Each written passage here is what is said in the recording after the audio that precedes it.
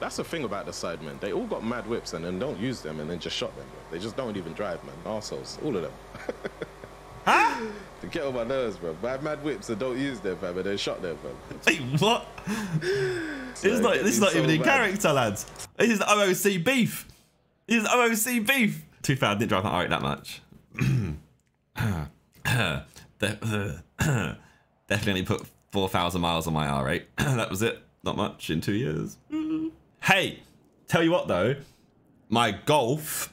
I've not driven that. Oh, I've driven that. I've driven that quite a lot. Okay, what, what, where can you drive it, bro?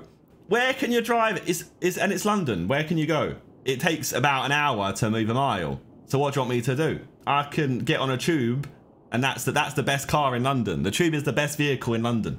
It moves. I have to. The roads are 20 miles per hour, and there's traffic everywhere. Everywhere's pedestrianised. It's one way. It takes me forever to get anywhere. So that's why there's no point in having an Audi R8. But hey, I'll get new whip soon come. New whip soon come, and I won't be a prick, and I'll drive it. But I don't know. I don't know what whip it will be. Fuck you, P man. Anyway, your whip shit. Because your R1 won't get there in 10. Your R1 will get there in an hour because it'll take too long to get across London, regardless.